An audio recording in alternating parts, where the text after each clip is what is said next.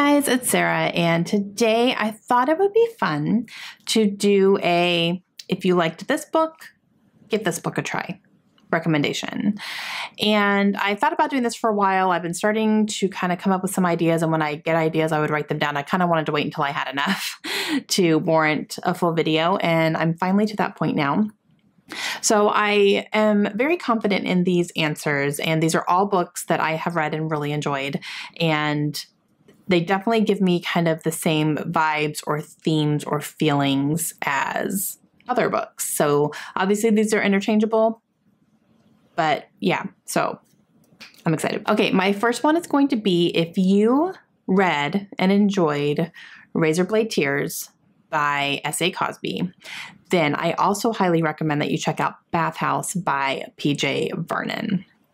The reason for these is that they definitely have the same feelings as far as they are dark, they are violent.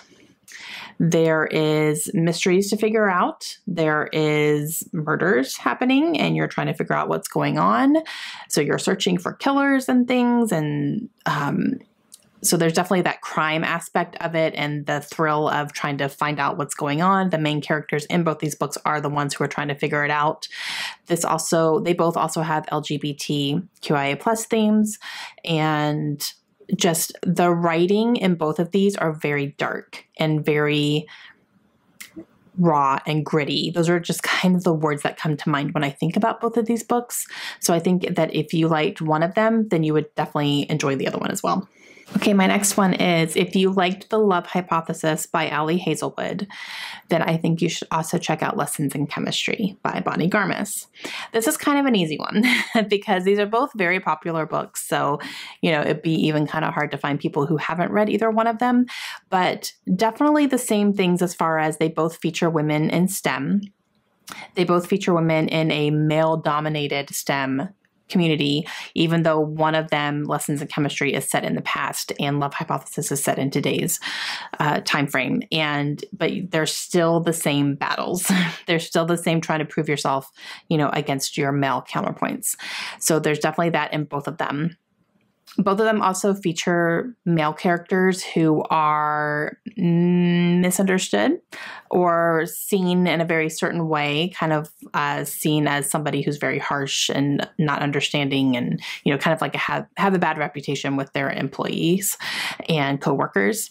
Um, they both feature that, and you know, they definitely both feature the female characters are pretty strong. I would say Lessons in Chemistry has a little bit of a stronger, um, she has a stronger personality, a stronger sense of self uh, with her, but um, but both very good.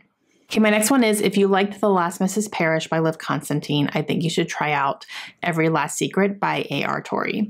Now, these both feature a toxic friendship, very toxic friendship, and they both feature a woman coming in from the outside trying to infiltrate your life in very similar ways. and there are also lots of secrets and there are twists and turns and I don't don't want to say too much else because if you haven't read either one of them, you definitely don't want to know too much going in. But definitely a toxic friendship situation. Um, very much backstabbing and you know just trying to take things away from someone else you know like every aspect of their life and yeah they're both very good okay the next one is if you read and loved the hunger games I think you would also really like Lore by Alexandra Bracken. So, Lore is not set in a dystopian world, it's set in our world. it's our world. Like they live in New York. And the difference is that with lore, there is a competition and there is kind of a fight to the death type of thing happening where selected pe- people are, you know, playing for their lives and hunting for their lives.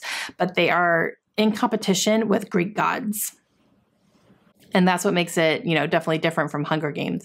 But not only do they fight the Greek gods, but if they defeat them, they get their powers It's so good, you guys. and Lore is part of a lineage of the Greek gods, but she's trying to ignore it. She doesn't want anything to do with it. She's trying to just live her life as a mortal and like not be any part of that, but she does end up getting lured into it and is part of this competition this time around. So, yeah. Obviously, Hunger Games is completely fantastic, but Lore also is too.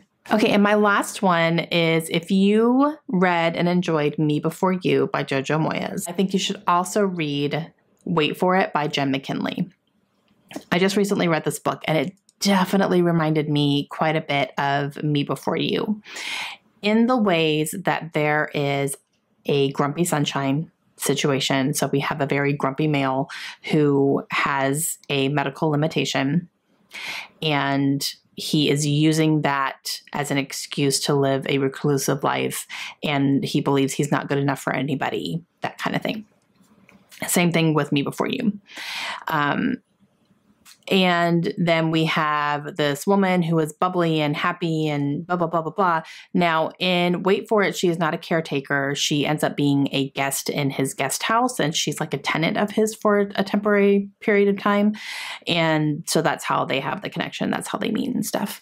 And uh, definitely similar in the you know medical situation and that they have a bond that grows you know, despite that and um, all that kind of stuff. And so, yeah, but both very good. Okay, guys, that is it. Those are some recommendations I have for if you liked one of these books, the other one can go in the same veins and maybe give you the same feelings, and hopefully you would like them just as much. Let me know down below. Um, if you have any other ones that would go with these, that would be awesome to know if there's, you know, some other ones that would have these same themes or same feelings, um, all that good stuff. And I will talk to you guys again soon. Hope you have a great day. Bye.